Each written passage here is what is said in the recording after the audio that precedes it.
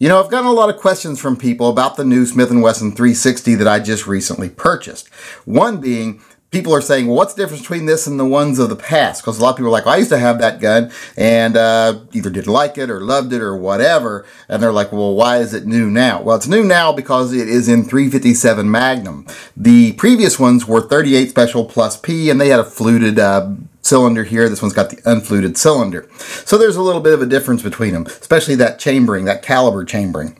But people are asking me, what do I think of this now that I have it? Because these guns are notoriously uh, painful to shoot. They have a reputation of being very snappy and very uh, abusive on your hands. So I wanted to do a quick little video here giving my initial impressions of this gun. But first I'm going to have to address the front sight here because I do not have a sight on this right now. It came with the little red ramped front sight and I just absolutely hate those.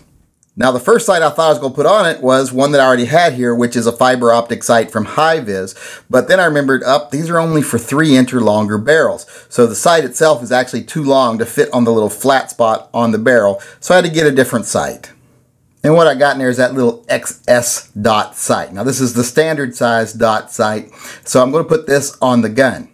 So before we go any further, I'm going to stop. I'm going to put the new sight on it, drill this out real quick, and then we'll be back to the review.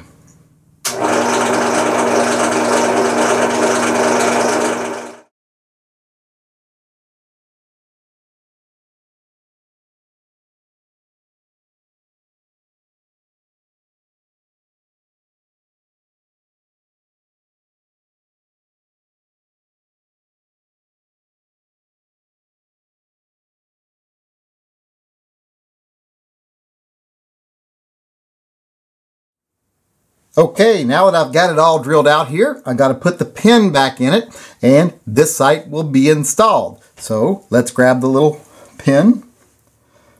Hold on. Where's the where's the freaking cup? Holy fuck balls. You gotta be fucking kidding me. Motherfuck! God! What? I threw away a cup I need. It, it, had a little, it just had a little tiny part in it I need. The cup's still in the garbage, but the part's just too small. I'm not gonna be able to find it. I'll order a new one. Can't be that much. Motherfucker. God damn it.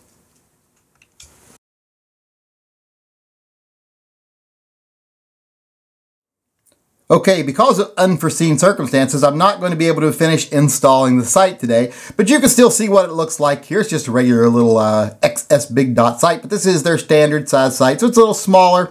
Actually works better on these little J-frames I have found in my experience. But I wanted to give them a little bit of a description of what I have found about this gun since I've owned it, or what I've thought of this gun since I've been shooting it. So take a second here, let everybody know, liking this gun a lot. Now this is an airweight, so it is a scandium frame, but it has a stainless steel unfluted cylinder and a stainless steel sleeve in the barrel, which makes this gun very light. Now, usually guns this light that shoot 357 Magnum sting like crazy, but uh, this one's not so bad. Shooting Armscor 357 Magnum full metal jackets out of it, comfortable. It jumps a bit. You know, I wasn't really trying to keep it from jumping too much, but it's snappy. And I didn't want to feel the pain that much because, you know, I'm old and I break easy. But, you know, I decided to go ahead and put some 140 grain Underwood in it. And that was a little snappier. It stung a little bit. But that's when I'm at the range and, you know, and I'm not wanting to feel any pain. Not that I want to feel pain at other times. I'm not that kind, not that person. Uh, but it got a little snappy, but if I was under duress and trying to defend my life, I don't think I would have noticed that at all.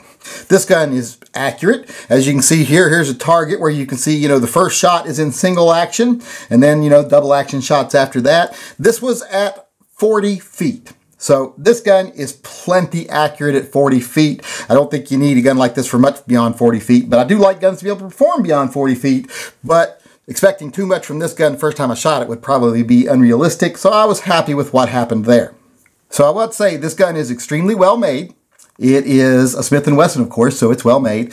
It is easy to handle, it is super light, super easy to carry, shoots surprisingly easily, and like I said, it's very accurate. So what more could you want from a tiny little revolver? So I'm going to keep shooting this at the range and see how it does. If I continue to love it, this will probably take the place of my LCR as the gun that I carry when I can't carry my full-size gun.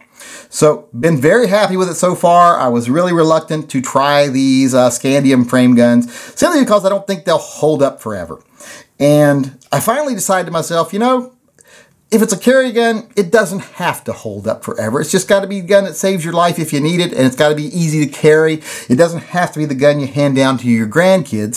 So I thought, you know, why not try it? And so far, I've been happy that I tried it. Haven't changed anything. I thought I might change out these grips, but after I found out how comfortable they are, I'm going to leave them on there. Did change out the sight, but otherwise, it's still the same gun that I just bought. And like I said, very, very happy with it. Now, some people are wondering what this up here is. Some people think there's a scratch on the gun.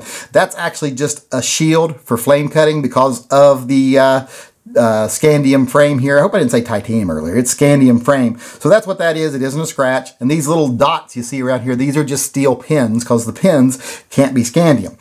So for the people who's wondering what those were, that's what that is. So like I said, really happy with this gun so far. Hopefully I'll be able to get a pin back in the front sight so I can take it to the range again uh, this coming week.